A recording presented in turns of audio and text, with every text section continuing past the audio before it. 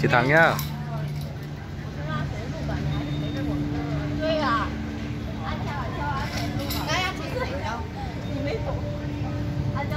Việt ơi! Bảo cái Hiền là lên điểm tay con. cho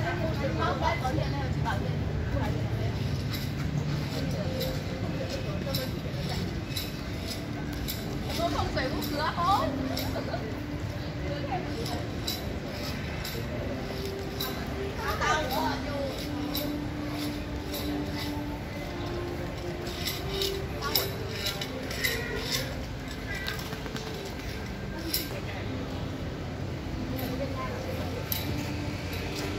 đấu luôn nhé